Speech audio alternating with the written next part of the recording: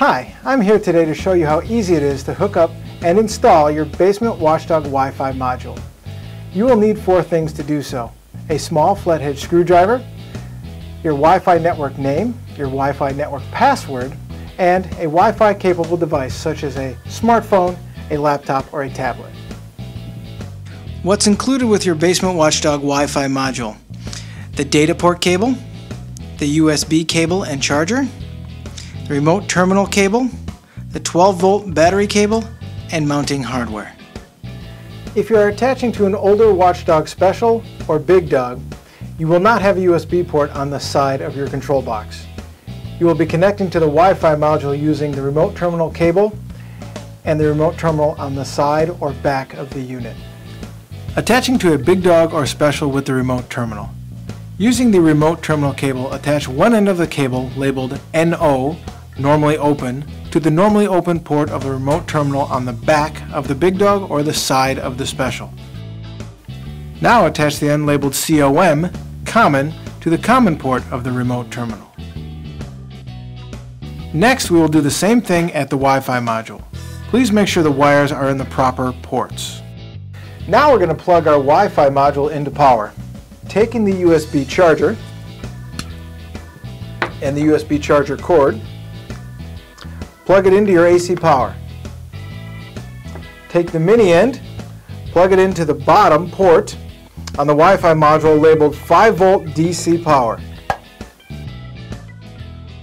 The last thing we need to do in attaching the module to your system is to provide backup power in case of a power outage. Using the battery cable, attach the large ring lug labeled positive on the red wire to the positive post of the battery on your backup system.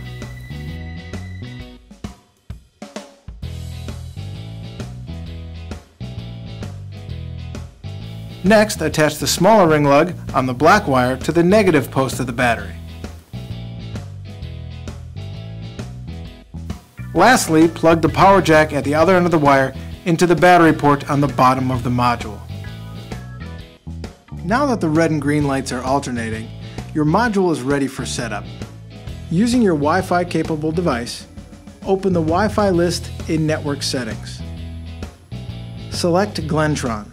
This is the network being broadcast by the module itself. Please wait for a successful connection. Then go ahead and close your network settings open up your internet browser. In the URL field at the top, type in 192.168.1.1. This will take you to the Wi-Fi module setup page. If necessary, scroll down to fill out the information on the page. Hit Save. Scroll down and click on the Available Networks button. Select your network from the drop-down list and correctly enter your password. Click OK. If the connection is successful, the red and green lights on the module will stop alternating and the green light will become solid. This means the connection is successful.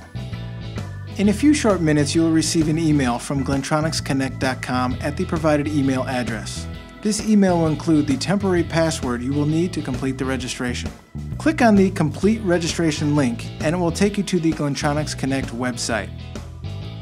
This page will contain all the information you entered previously. Input your temporary password and click Continue. This will complete your registration process. Once your registration is finished, we recommend you go back into the account and change your temporary password to one that you're going to remember. We also recommend that you test the setup. You can find out how to do this in your manual.